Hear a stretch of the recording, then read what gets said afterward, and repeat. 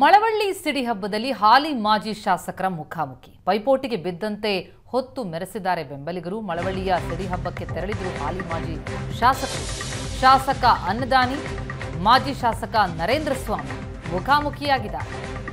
ಅನ್ನದಾನಿಗೆ ಹಾರ ಹಾಕಿ ಹೆಗಲ ಮೇಲೆ ಹೊತ್ತು ಮೆರೆಸಿದ್ದಾರೆ ಬೆಂಬಲಿಗರು.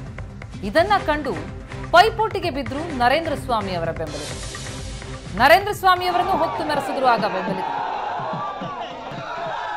ಮಳವಳ್ಳಿ ಸಿಡಿ ಹಬ್ಬದಲ್ಲಿ ಇಬ್ಬರು ನಾಯಕರ ಬೆಂಬಲಿಗರ ಪೈಪೋಟಿ. ಆ ಮೆರವಣಿಗೆಯ ವಿಡಿಯೋ ಸಾಮಾಜಿಕ ಜಾಲತಾಣದಲ್ಲಿ ಭಾರಿ ವೈರಲ್ ಆಗಿತ್ತು. ಪೈಪೋಟಿಗೆ ಬಿದ್ದಂತೆ ಹೊತ್ತು ಮೆರೆಸಿದ್ದಾರೆ ಈ ನಾಯಕರ ಬೆಂಬಲಿಗರು. ದೃಶ್ಯಗಳಲ್ಲಿ ನೋಡ್ತಾ ಇದ್ದೀವಿ.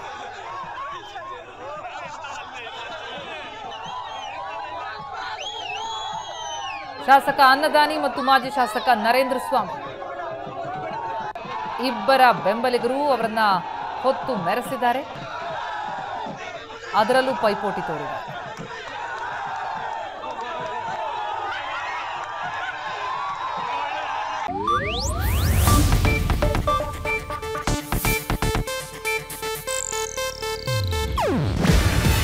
ಇದು ಏಷ್ಯಾನೆಟ್ ನ್ಯೂಸ್ ನೆಟ್ವರ್ಕ್ ಪ್ರಸ್ತುತಿ.